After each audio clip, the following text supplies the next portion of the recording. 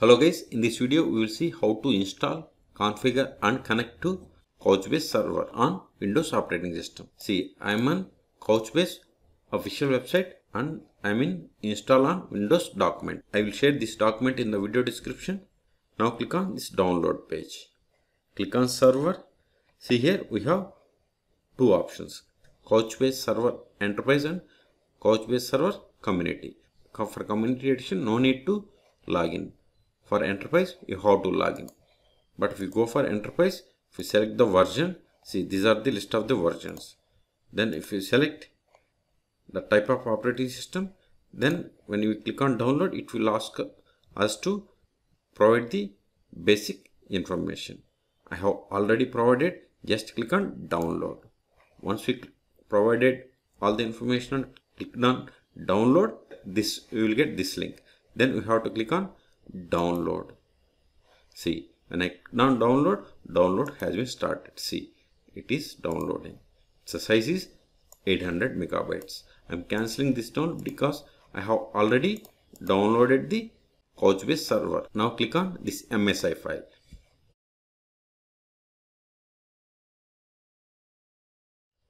See this is welcome page for Couchbase server setup.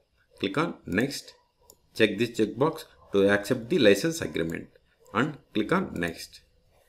This is the path where Couchbase server files and folders will be copied. If you want to change, click on the change and change. I'm going with the default one, so click on next. Then click on install.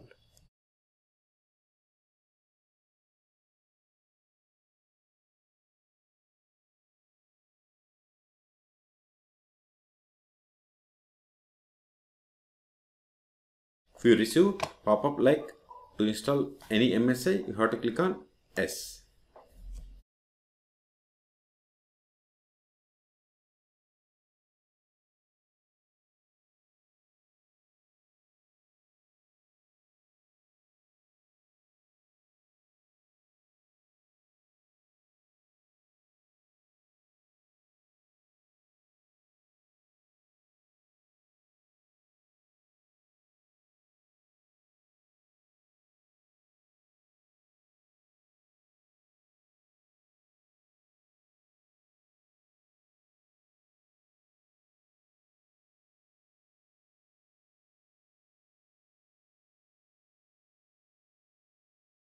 We have successfully installed Couchbase Server 7.2.5325 Enterprise Edition. Click on Finish, Start, Verify whether it is there or not.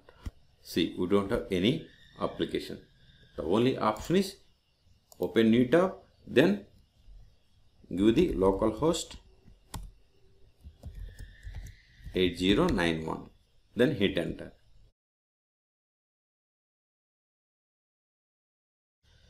See this is the fresh installation.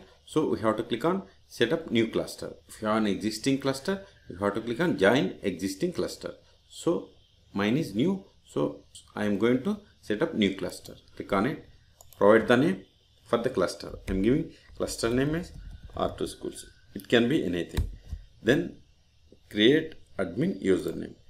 I'm not going to change this name. But when you are going to connect to couchbase you must give caps A, which means username and passwords are case sensitive. If you give like small case then it will throw error. Then provide the password for this admin username. Then click on accept terms. Then check the checkbox that is I accept the terms and condition.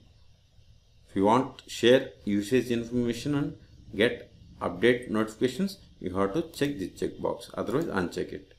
If you want to configure disk and memory services you have to click on this one otherwise click on finish with defaults.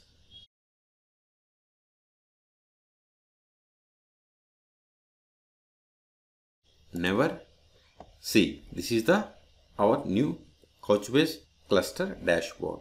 See we have connected with administrator. We want to change the password for the currently logged in user you have to click on change password. If you want to run the queries you have to click on this query. Then here we have to write the query. Here we have different output formats like table json chart plan plan text or advice. Okay we have to write queries and we have to click on execute. If you want to create a user you have to click on security. There we can create LDAP, add group or add user. If you want to create users, you have to click on add user. Then provide the name, username R2 schools. Full name is optional but I am providing. Provide the password. Again provide the same password. See, we have created a user. If you want to see the views, you can click. At present, I don't have anything If you want to see the list of the servers in this cluster we have only one. If you, want more information about this cluster click on this IP or the name. See this is the information about this cluster. This is the CPU utilization RAM and swapability details. If you want to see the buckets at present we don't have any buckets. If you want to add bucket you have to click on add bucket. Settings. See these are the settings. If you want to change anything you can change and you have to click on save. Otherwise you have to click on cancel. Click on dashboard. Now we have connected with the local host but we can also connect using IP sign out then open CMD then IP config to check the IP of this machine. See this is the IP paste it. 8091 now we will try with new user. That is R2 schools. Click on sign in. User doesn't have permission to okay we will uh, grant this login privilege after so user doesn't have privileges. So try with the admin user.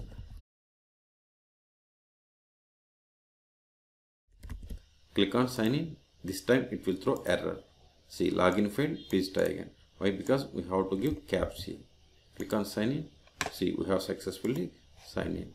Now click on security click on user edit then administrator see here we have to grant the privileges based on the availabilities. If you want full admin we have to click on full admin and save changes.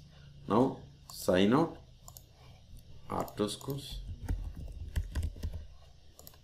see user is able to log in.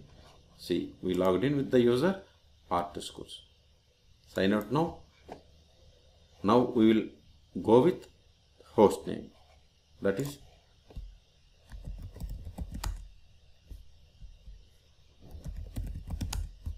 see this is the host name. Copy this one. Paste here. 8091 see we got the same and provide the password see? So we can connect to couchbase server by using localhost or server name or desktop server name or machine name or by using the machine IP if you want to see the documents see at present I don't have any documents. If you want to import you have to click on this import button you can import by clicking on this select file to import. That will be loaded here. We can then we can select the file formats. In servers if you want add another server you have to click on add server. Then we have to provide hostname or IP then then username and password. Then we have to click on add server. At present I don't have any servers so I'm cancelling it. So in this video we have seen if you want to start stop or restart couchbase server you have to go to services then see here. At present couchbase server is running. If you want to stop you have to click on stop. Or you have to click on the stop button. Or right click and click on stop. All three are same. The same way if you want to restart select the service and right click and click on restart. Or click on this restart button. Or click on this restart link. All three options are same. How to download install configure and connect to Couchbase server on Windows operating system. For more Couchbase server videos please subscribe my channel thank you